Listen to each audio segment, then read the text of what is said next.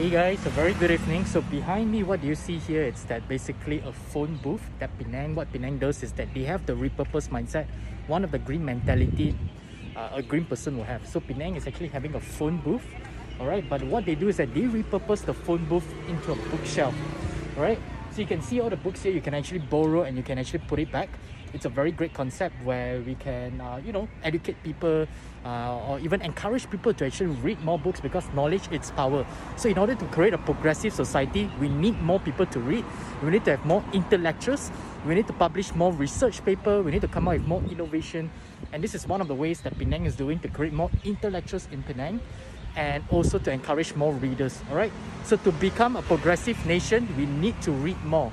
So how many books do you read a year? For me last year 2021 I read about 28 to 30 books. I need to check again 28 to 30 yeah so if you happen to be at Beach Street okay just in front of the police station you can take a book adopt a book and then make sure that you put it back after you read okay? If you have any books to donate you can do so as well so drop by okay and choose a book and read it if you see if you have books if you have a lot of books at home that you want to put for good use, put it here and give the public. And also, a note to the public is that please do not vandalize all of this bookshelf here.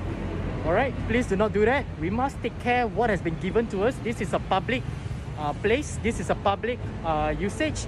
Let us protect this. Let us ensure that this can be used for many, many years and also by a lot of Penangites. Alright? So, Beach Street, head over to Beach Street and you can find these three booths. Three colors, yellow, pink, and I think light green yeah and also you know if it's raining what you could do is that you can actually go here you can charge your phone there's also USB you can even use your laptop over here it's a protective it's good and there's a whiteboard here is it whiteboard or they're gonna put some poster for you to promote? Wow interesting. A power socket very useful when it's raining. You can take shelter at this booth. I think one thing should be improved right is that they could put a light you know when it's dark right? I think a light will shine but I'm not sure whether there's light but as for now I don't see any light. Yeah